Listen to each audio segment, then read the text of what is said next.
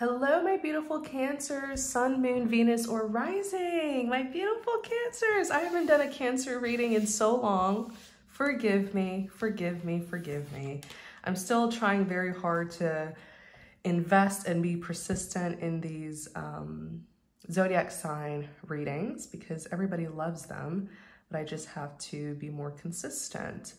Um, but thank you, Cancers. Thank you guys for tuning in. I hope you're doing well. I hope you're having a fantastic day. And if you're not, please keep your head up high. Things will get better. All right. So let's see what's going on for my beautiful Cancer, Sun, Moon, Venus, or Rising. Um, so these zodiac signs that I post, it's for your Sun, Moon, Venus, or Rising. If you don't know your Sun, Moon, Venus, or Rising, um, check out the description box. I did put a link um, it's called Astrology Cafe. This is not sponsored. It's just a really good website that, that provides free birth charts. So I linked it in the description box. If you don't know your birth chart, you can just check out your sun, moon, Venus, or rising so that you'll be able to watch various um, zodiac readings. Holy Spirit, thank you for guiding us. Ooh, ooh, ooh, ooh, ooh. Message for Cancer, Sun, Moon, Venus, or Rising. Message for Cancer. Let me see here. Five of Swords or Five of Wands. Cancer, what's going on with you? What's going on with you, Cancer? No, let me do it like this. Two of Wands. Mm, something awaits for you, Cancer. Something awaits for you. Temperance. Something awaits for you. That's what I'm hearing. I know things have been tough. Five of Wands is conflict and drama.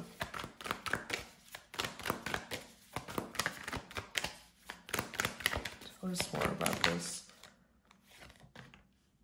I feel like the, the tables have turned in your favor, as in you now have the upper hand and there's someone who's desperate to apologize to you. Okay, it's almost like the Wheel of Fortune. Um, you're now at the top of the wheel, getting all the fortune, the favor, the, the luck. And then that your your person's at the bottom. Whoever was causing you trouble, they're at the bottom of the wheel where they're experiencing misfortune. Um, and I can show you because that's the reference that I'm getting even though it didn't show up, but that's just how I'm seeing your reading. Let me see if we can find it here. Wheel of Fortune.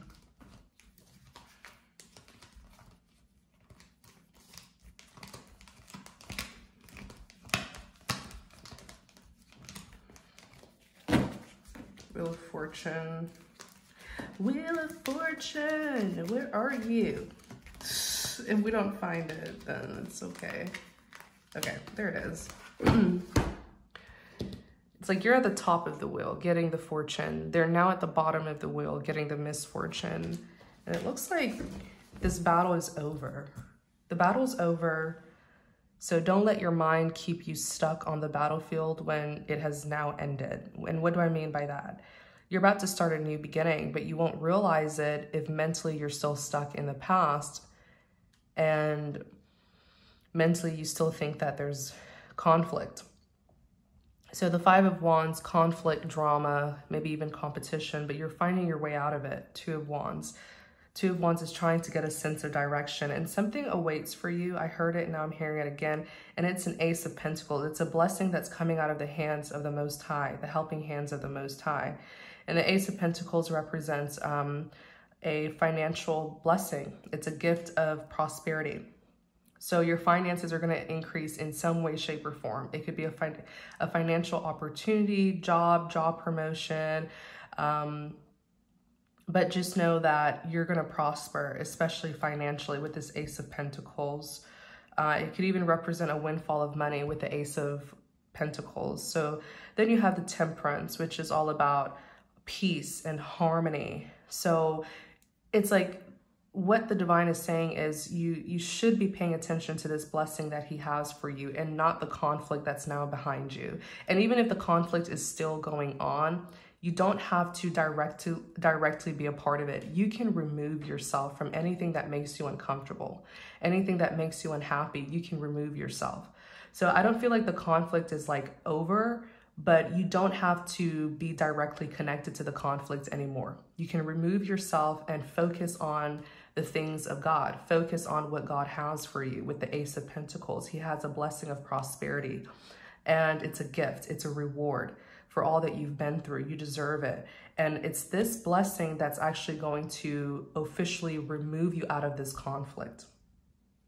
And what do I mean by that? It's this financial opportunity that's completely going to separate you from these chaotic people, places, and things. You will be, there's a, there's a, there's a division that's going on. You're going to be separated from the conflict through this gift, through this blessing and you're going to have a lot of peace and harmony in your life. So start focusing on what God has for you. Even if there's still conflict, drama, and chaos, you don't have to attend to it. You don't have to give it your attention. Okay? You can start directing your focus on what God has for you. Now you have this chaotic person here, Nine of Wands, Six of Cups, and the Knight of Swords. You are you're at a place in your life where you are finding peace or you're trying to find peace and peace will find you. You just have to watch your mind, discipline your mind. Don't focus on negative things. Don't give your energy or attention to negative people, places, and things. Focus on your blessings. I keep on hearing that. Now, when it comes to your person, however way they're connected to you, friend, family, lover, enemy, take it how it resonates. But this individual, it's so interesting because your energy can't be used as a scapegoat. Your energy can't be used anymore. Like you were carrying unnecessary burdens. Well, I don't want to call it unnecessary burdens because you learned what you needed to learn from the experience. So it didn't happen for nothing. It wasn't really a waste of time because I really feel like you acquired a lot of you acquired a lot of wisdom and knowledge and, and experience. And it was just meant to be experience for you, not something long lasting, not something that you're meant to be dragged in for, for a long time, you know? Um, now that your energy is removed, there's been a shift. Now the burden's falling on the person who is at fault. It looks like someone here, your energy was being used as something, something here. Like your energy was being used as, um, I don't know, either a scapegoat, if not a scapegoat, there's something here where because you were present in this conflict, someone didn't have to take accountability for what they did. Okay? So I don't know if scapegoat is, is the word, but it's almost like you were being used as a shield. You were protecting, in a way, your energy was shielding a problematic person. But now that you've removed yourself from this conflict, you're no longer being used as a shield to protect a person who is in the wrong. I feel like because you were present in a situation, all the attention was on you. Okay? There's something that's, thank you, Holy Spirit, that's what I heard. So your presence was being used as a distraction. Yeah. You were being used as a distraction. But now that you've removed yourself there's no more distraction, and someone has to take accountability for what they did. So it's like just fall back, just fall back, slowly ease your way out of this drama and conflict. It's not your fight. Slowly ease your way out. And all the bad attention is going to go on this person over here. Their energies, their energies at the bottom of the deck. So the Nine of Wands, Wounded Warrior, they're going through it. But I feel like in the past, you were in this uh, wounded warrior pose because you had, it's almost like you stepped in in someone else's drama. And it was probably to help them, to enlighten them, to inspire them to make better decisions. Okay, so it's like it wasn't really your battle, but you, you stepped into it. Uh, maybe as the peacemaker, the mediator, you know, but you can't do the work for people. You can you can help them as much as they want to be helped and you can inspire them, but you can't sacrifice yourself for people. And it's so interesting because the more your energy fades, as in the more you back out of this, whoever these people are, they're gonna stop focusing on you and they're gonna focus on the the, the real person who's the troublemaker. And now this person will have no choice but to actually do the work on themselves because this whole time you were the one shielding them. You were the one being used as a distraction from the real problem, who is them. Okay? You can't do the work for them and you can't make the decision for them. So now this person is being put on the hot seat. That's why they're in the Nine of Wands because people are no longer looking at you. They're no longer distracted by you. Nine of Wands, they're in this wounded warrior pose. They're in the hot seat. Um, they're even feeling maybe paranoid, defensive, traumatized. Um, then you have the Six of Cups. You know exactly who this person is. You have some sort of history, past, or familiarity. Even if this is a newer person, you had some sort of encounter with them. Okay, there's familiarity. So you definitely know who this person is with the Six of Cups. Um, let's clarify the Six of Cups.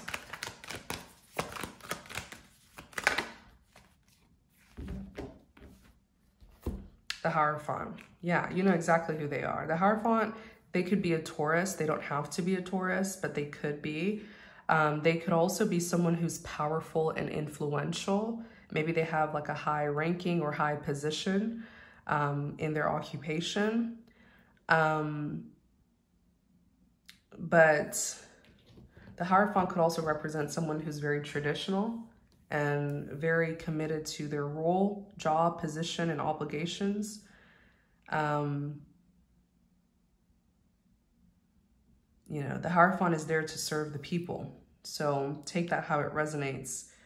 Um, the Hierophant could also represent a commitment. It symbolizes marriage.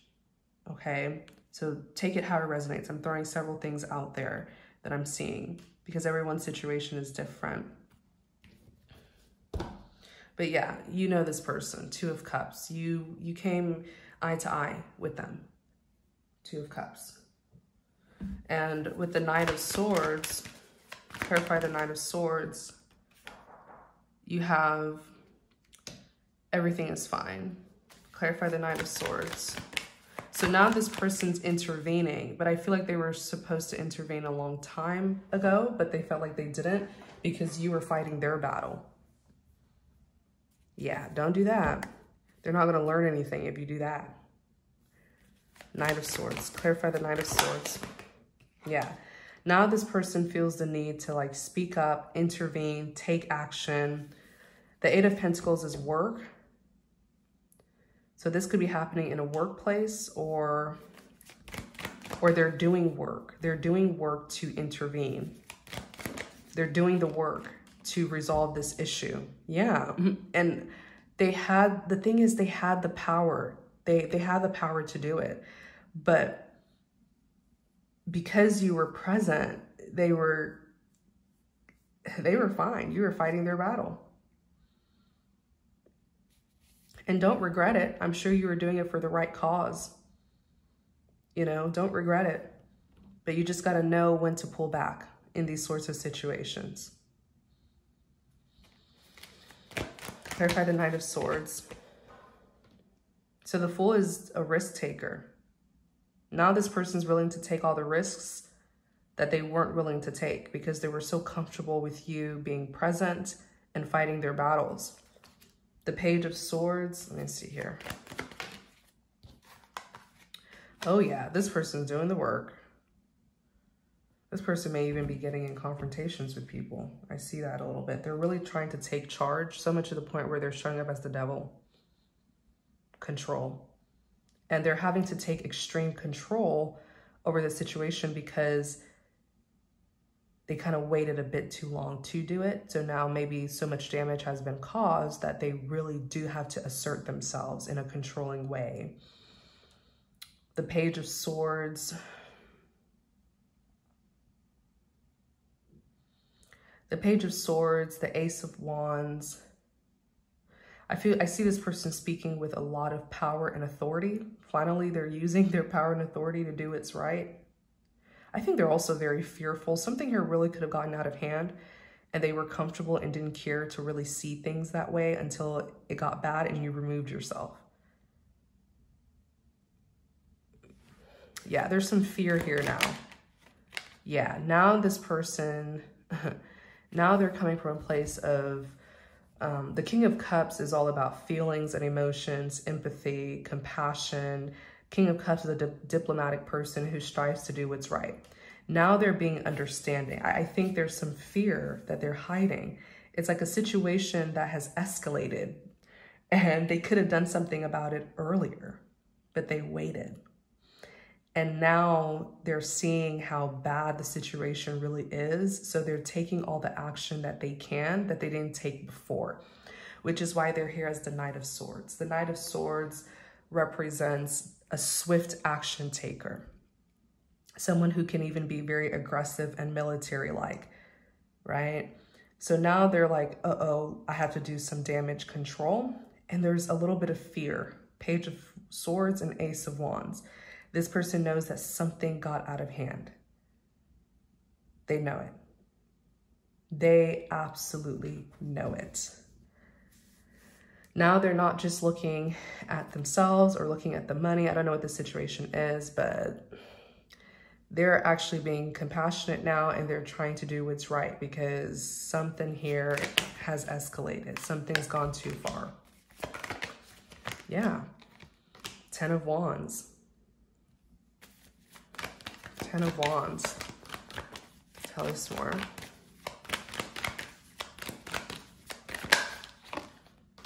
Seven of Cups.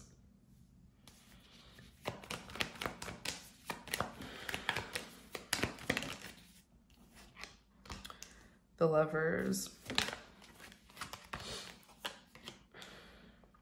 The High Priestess.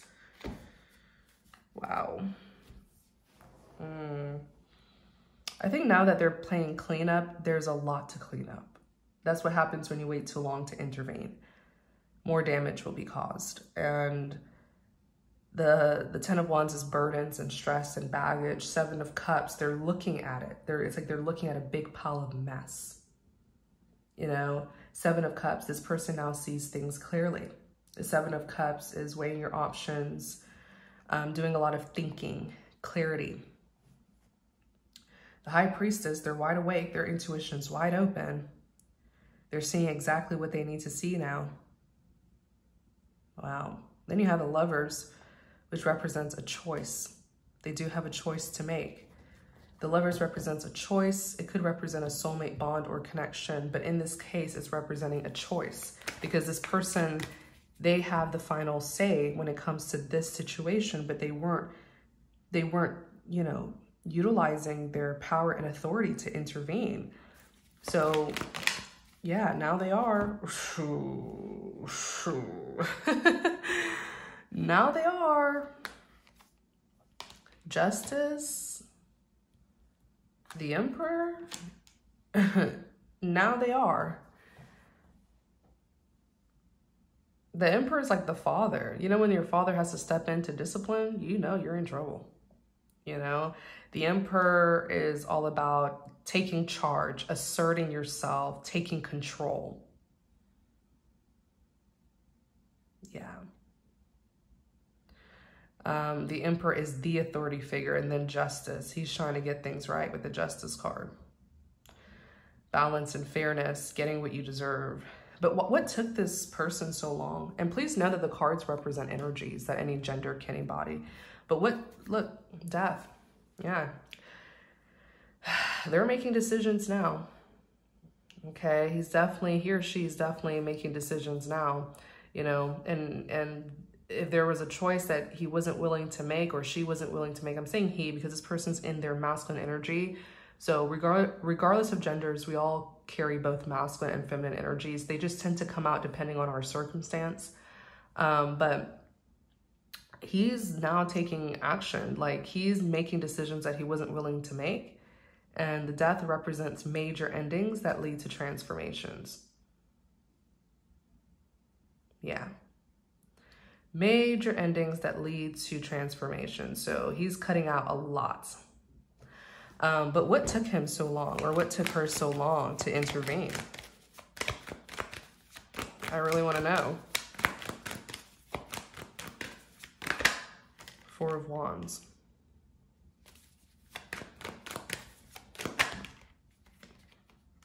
Ace of Cups.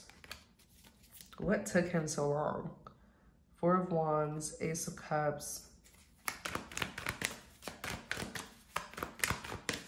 What took him so long to intervene? Death. You know what took him so long to intervene? Look at you, the Empress. You know who this is. You want to know something about your person? You have a big influence on your person, whether you know it or not, but you need to you need to know it so you can exercise your power and influence. If you're happy, they're happy. But the second you become dissatisfied and unhappy, they do something about it. The reason why your person wasn't taking action is because they felt like your person is a little bit selfish there could be problems, but as long as it's not affecting you, the one who they love, they don't care to fix it. If it's affecting other people, they don't care. But the second they found out, the minute they found out that it was affecting you, that's when they were like, "Oh no, I'm stepping in." But why? I don't I don't understand people with that mentality. Why only care when the problem the, when the problem is affecting you? You don't have to I don't think that's a good mentality to have because if you have to wait for something to start affecting you before you can care, then that means that something's gone a bit too far. So why not care? Like if you see that it's affecting others, why not prevent? Why not step in? Okay? And try to resolve the issues. And that way it'll prevent you from from getting harmed and others from getting harmed. But to only care because something's affecting you and not care when it's affecting others, I don't feel like that's, um, I don't think that's a progressive um, mentality to have. Um, I'm always about putting out the fire before it can even start, okay? Um, and even if you see the fire, put it out before it spreads, before it gets really, really bad. Um, because again, you know, if it starts harming you, that means the damage, too much damage has been caused. Like by the time you notice it, that means it's harming you. And then you try to do something about it, but then you look at all the damage that's been caused because you waited too long. Does that make sense? Um, taking preventative measures, I guess that would be the method that I like. Um, you know, ending ending things before it can even start, ending bad things, putting an end to bad things. I always teach about um, uprooting or unrooting the, the weeds, the bad weeds, because they spread like wildfire. You know, um, once that fire spreads, it's hard extinguishing it. It's, it's really, really hard. So, but I think your person's a bit selfish where they knew some things were going on, but they didn't, they didn't care until they noticed that it started affecting you and that's when they stepped in. So imagine if you hadn't said anything. So I see, I see why you were intervening. I, because I, I feel like you stepped into something that wasn't necessarily your battle, but you're such a selfless person and you're such an empath you were fighting this battle for the for the good for the greater good of all because you know that there were people being affected and you could see the future. You knew that this is a situation that would have gotten out of control. So you stepped in and that's what you were called to do by the way. You used your power and influence your voice to not just help yourself but to help others because I'm sure the people who were getting harmed by this, maybe they were shouting and screaming and trying to, you know, get help, but nobody cared. So it's like you use your voice for the voiceless, you use your power for the powerless, and you use your influence for those who don't have as much influence. And isn't that what we're called to do, right? Um, and clearly something here just went out of hand. Something, something here got out of hand. And um, because you were hurt, because it was you shouting and screaming and raising your voice, your person now became serious about it. They, they actually started to care because it's someone who they care for. So the Four of Wands, I'm like, why did it take them so long? Because Four of Wands is, is happiness, redemption, celebrations, togetherness. Your person thought everything's fine with you and them, so they don't care about what's going on with other people. The Ace of Cups, this new beginning, love, happiness, you know, the fulfillment, the joy. I mean, they thought you were good. Your person's just looking at you. But then I think something happened where you're like, I'm going, I'm leaving, I can't be here, I can't take this. And that's when they're like, huh? Let me look more into this. Let me look more into what's bothering my person. Because you definitely told them that you wanted to leave or you didn't want, like, there's something with the death is an ending. This person feels like if they don't get to the bottom of this, you're going to leave. And you're their empress. the emperor and the empress. I think your person tends to live in a bubble sometimes. And as they live in that bubble, and as long as they're fine and everybody in that bubble is fine, they don't really care to acknowledge what's going on with other people. Your person did show up as a Hierophant, so maybe they are maybe they are high ranking in a way. Maybe this person is like some sort of high position or status. Um, and that's just what tends to happen with people who are of higher status. They just kind of live in their own world and they don't know what's going on with the people. Like imagine like a pyramid, you know, many times like the CEO who's at the top of the pyramid, a traditional business hierarchy, doesn't really know what's going on with the employees on the sales floor. you know what I'm saying? The VP doesn't know either. so it's almost like they're in a separate world. But I feel like you were caught in between two worlds and you saw something and you definitely used your voice and power. I feel like everything's going to be fine.